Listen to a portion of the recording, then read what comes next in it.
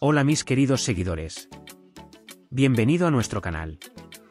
No olvides suscribirte a nuestro canal para estar informado sobre nuevos vídeos.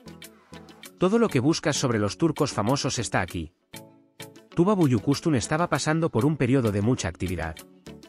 Participó en un proyecto tras otro y trabajó incansablemente.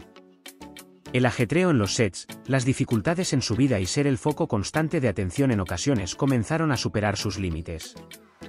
Durante este proceso, aunque Engina Kurek no estuvo involucrado en el mismo proyecto con Tuba, siguió de cerca esta situación debido a su amistad y profundos vínculos con Tuba.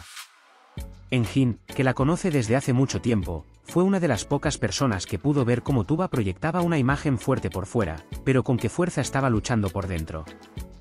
Una noche, Engin y Tuba se reunieron para recordar los viejos tiempos. Se encontraron en un restaurante tranquilo, iluminación tenue, música suave de fondo y dos amigos que no necesitan muchas palabras para entenderse. Tuba se sentó frente a Engin con su habitual postura elegante, pero esta vez había un cansancio notable en su rostro. Engin respiró hondo y notó la fatiga en los ojos de Tuba. Los pensamientos que lo habían estado preocupando habían estado en su mente por un tiempo, pero ahora era el momento de expresarlos. Sonrió levemente y miró sinceramente a Tuba.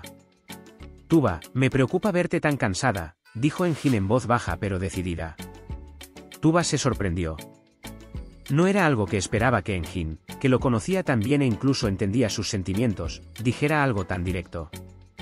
Hizo una pausa por un momento, luego inclinó levemente la cabeza y dijo con una sonrisa, ¿por qué me preocupas? Preguntó. Engin continuó sin quitarle los ojos de encima a Tuba. Trabajas duro, siempre estás persiguiendo algo. Te esfuerzas por ser fuerte, pero cada persona tiene límites. A veces, intentar controlarlo todo puede cansarte aún más. Tuba respiró hondo y miró pensativamente la taza sobre la mesa. Estas frases tocaron algo en su mundo interior.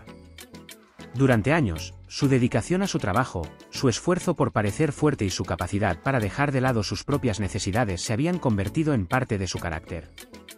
Sin embargo, las palabras de Engin le recordaron, quizás por primera vez, que necesitaba detenerse por un tiempo.